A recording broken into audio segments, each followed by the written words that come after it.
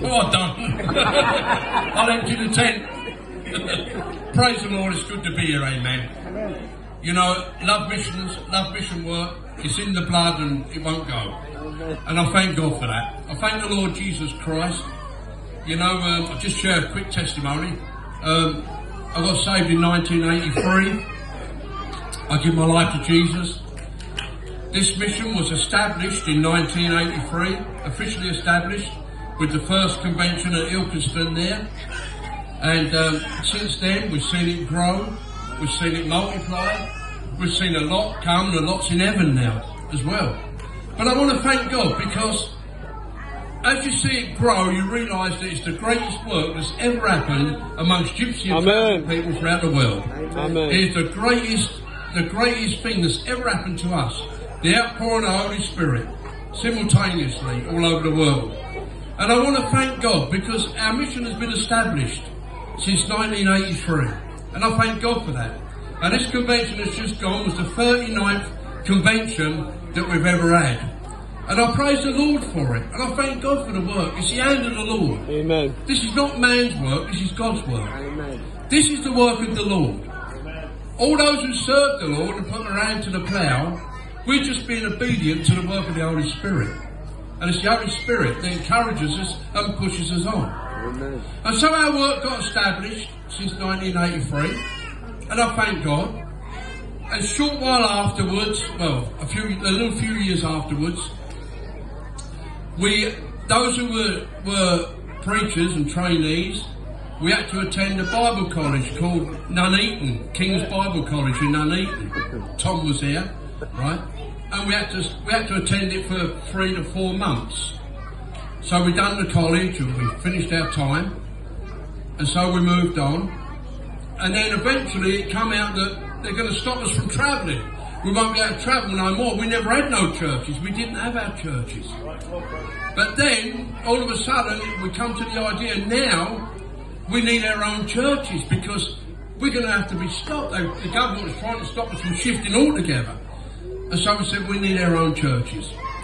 So the first church that was established, official church that was established, was in a place called near Ash Green in Kent.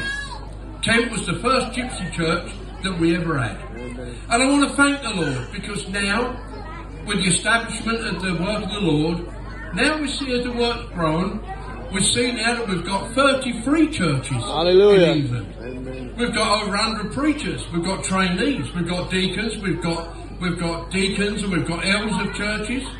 And I want to thank the Lord for that. I want to thank the Lord for our missions that we've been having this Amen. summer.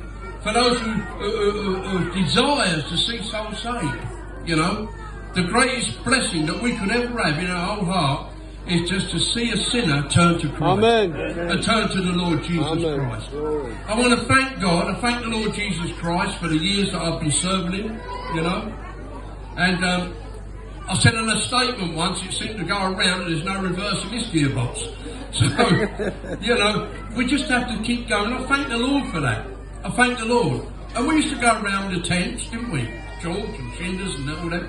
And we, wherever we went, we put a tent up and we would preach the gospel and we would see souls saved and we would travel all summer and we would be up and down with tents. And I thank God for that. You know, and um, it's wonderful. You know, and um, I just like to say, serving Jesus Christ, whatever you're doing for the Lord, is the greatest thing that anybody can ever Amen. do. Is to serve the Lord. Amen. You know, and we don't give up. We're those who continue.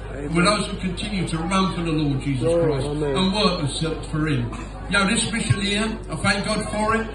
You know, if one soul is saved, it's worth every Amen. effort of labour. It's worth every effort of labour.